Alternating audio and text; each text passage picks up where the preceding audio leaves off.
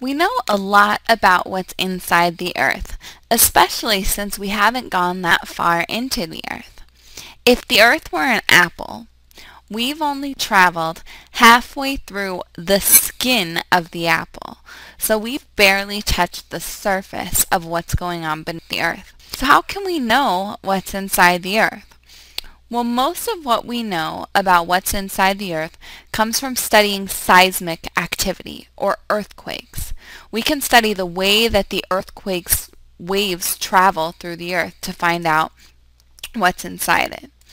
We can also learn about the inside of the Earth from studying rocks, gravity, the way the Earth moves in the solar system, and how heat travels from inside of the Earth. All of these things together put together what we know about the earth and what's inside it.